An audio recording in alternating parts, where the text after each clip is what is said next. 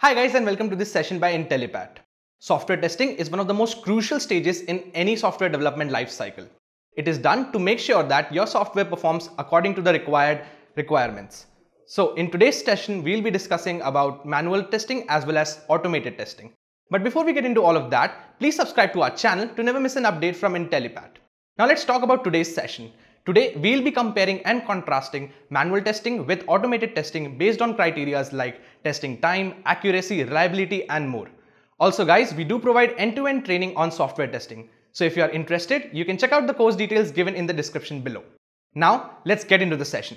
So coming to the first item on the agenda, it is automated testing. Well, what is automated testing? Well, automated testing is a couple of procedures which are actually carried out by the computers uh, with the help of a lot of codes or test scripts. But then these test scripts which are actually uh, put out are actually put out by humans and human testers, guys. So at the end of the day, you might be wondering why do we need automated testing, where it is used, and is automation testing as good as manual testing, if not better?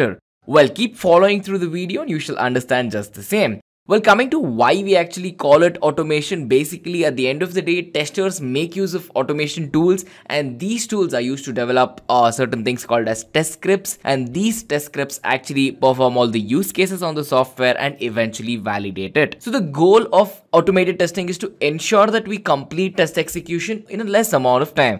Again, when we talk about the world of information technology, time is considered to be money. So in that case, here's a small visualization. Well, the software is actually developed by a team of software developers, software engineers, architects and all these guys. And uh, obviously it has been developed manually and after this uh, there are certain scripts which are actually written. So what these scripts do is these scripts actually make use of a variety of functionality such as macros and much much more to actually go on to imitate a human executing these test cases but in a very rapid way. So you might be wondering if this is the case if efficiency numbers are very high why not make use of automated testing for everything? Well actually some of the methods are better suited for manual testing and there are some of the methods which are actually best performed through automated testing and we pretty much are going to check about both of these uh, just after this.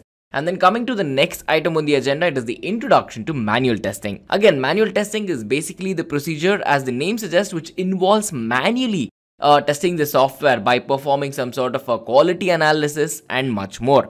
And this is done by quality analysts. So why is manual testing done? Again, it is one of the most widely used method till date, even though the world is moving towards automation. It is one of the most uh, well used legacy systems, the classical methodology used to find and basically remove any bugs, any defects or anything else which is not supposed to be present in a software which is under development. Well, as you might know, uh, testing forms a very vital part when we talk about software development lifecycle and manual testing all these years has been a very vital part of it. And again, here's another visualization. The software is again developed manually by programmers and coders and this time it is manually tested and ensured that you know uh, the quality analysis is performed by analysts who actually know what the software is doing but eventually the entire procedure is carried out manually. So you might be wondering if uh, again you know this is the case then why do we have to pick manual testing? Again when you have to think about it there are many requirements a project might have. They might have a fixed budget you know they might have a timeline which probably a computer cannot meet or let's say it requires an expertise which is probably difficult for the computer to uh, replicate or uh, quality so you might be wondering where what is good right so uh, budget wise do they pick manual testing? Do they pick automated testing and whatnot? Well that is exactly what we are going to check out in this quick comparison between automated testing and manual testing. The first comparison uh, point that i have for you guys is in the meaning. First, we need to understand what automated testing is and manual testing is. In fact, automated testing involves making use of various automation tools and these tools execute all the use cases for us and make sure that there is as less human interference as possible. So coming to manual testing, again, manual testing involves having test cases which are actually executed by a person, a human tester, on a piece of software which is under consideration at this point of time. And next, we're going to talk about processing time. Well, when we talk about processing time, automated testing is significantly faster because uh, it makes use of computational power, which are again exponentially faster than humans in various uh, fields. You know, it can be uh, something statistical, something mathematical, or an operation for that matter as well. And then coming to manual testing, manual testing actually consumes human resources. It is time consuming, resource consuming, and whatnot. So for processing time, automated testing is preferred. And then when we talk about exploratory testing, well, here is where manual testing shines because automated testing does not allow for exploratory testing or in fact random testing as well. Just a quick info guys, Intellipaat does provide end-to-end -end training on software testing which includes both manual as well as automated testing. So if you are interested, you can check out the course details given in the description below.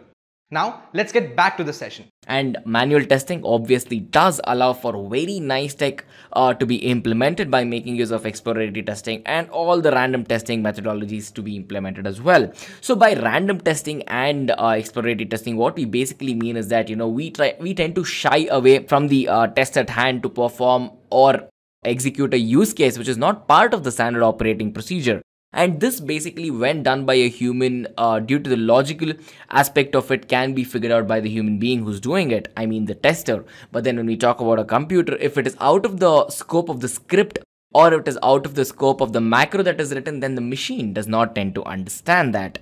And then when we talk about the initial investment here again you know manual testing shines because manual testing involves spending a smaller amount as soon as you want to start out with testing. But then the return on investment is comparatively low because you're investing a lower amount and even when investing a lower amount the return on investment is actually lower when compared to automation testing. And of course automation testing involves spending a huge amount of upfront but the advantage is that the return on investment is actually better when we talk about long term and then coming to the next point, which is reliability. Well, when we talk about reliability as well, automated testing is extremely robust in this world and extremely reliable, which is very vital for any software testing methodology. Uh, because again, we use a variety of tools, variety of scripts to go on to do this procedure.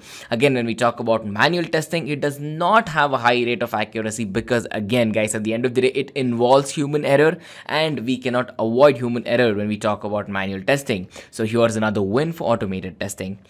So when we talk about automated testing, there is actually a small uh, disadvantage here because again, every time there is a change in the user interface, the scripts need to be changed completely or else the machine doesn't know what it is working with or how it can go on to work with it at the same time. But then with manual testing, again, testers are proficient enough to understand uh, these small changes which occur in the user interface, cope up with it and uh, work with it in a simple way. And in fact, the most advantageous thing is that they can work with it at a quicker rate rate and then coming to the resources again a lot of resources are needed in both ways guys. Because automation testing will call for you know testing tools. It'll require a lot of automation engineers and whatnot. When we talk about uh, manual testing again manual testing uh, calls for investing in more human resources having more people trained having more people understand what's going on with the software and then go on to do the testing right? So again both of these call for a huge number of resources at the same time. And then when we talk about value for money?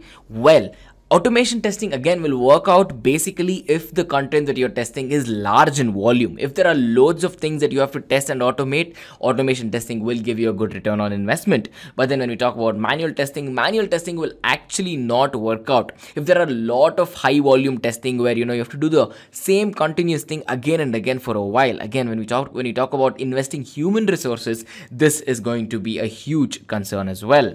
And then coming to the ninth point in this comparison, it is performance testing. Again, when we talk about uh, automated testing, it allows like a lot of methodologies to put be put to the picture, a lot of support as well.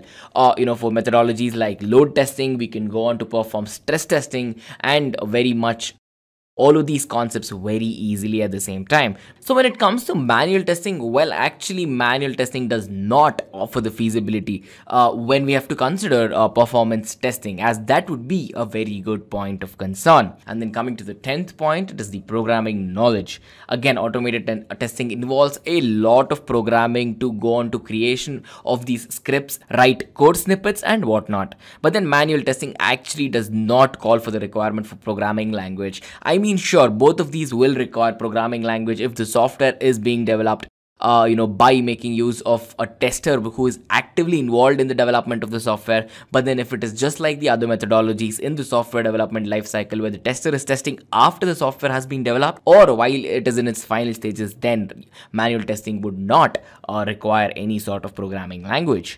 And then uh, usage in DevOps. This is again, DevOps is ruling today's world of information technology, and here is where automated testing is helping.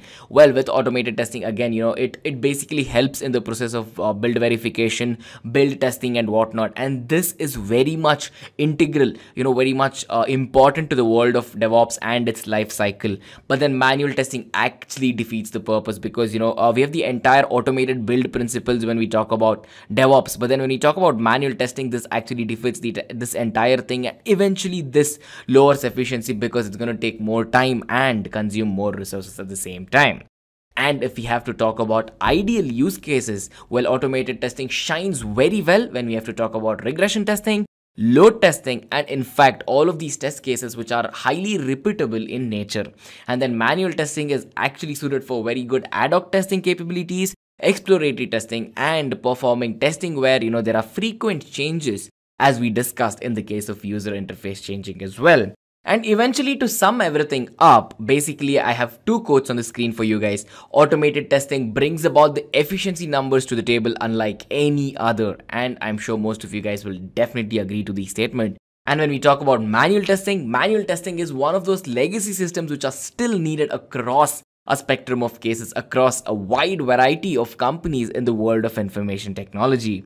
And on that note, these are the 12 most important uh, comparison points when we talk about automated testing and comparing it directly with manual testing. Just a quick info guys, Intellipaat does provide end-to-end -end training on software testing which includes both manual as well as automated testing. So if you are interested, you can check out the course details given in the description below. So this brings us to the end of this session. If you have any queries, please leave a comment down below and we'll reach out to you immediately. Thank you for watching guys.